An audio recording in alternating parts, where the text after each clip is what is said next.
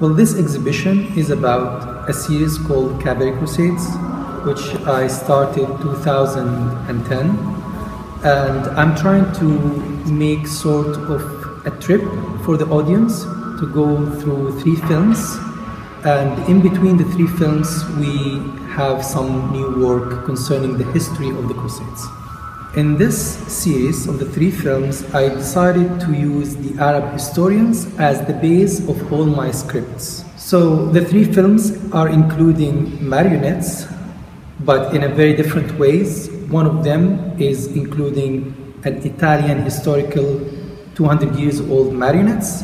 Another one is used is using ceramic marionettes that were made in South France. And the third film is including glass marionettes that are made in Murano. And the reason for using marionettes was simply to uh, concentrate on the concept of manipulation.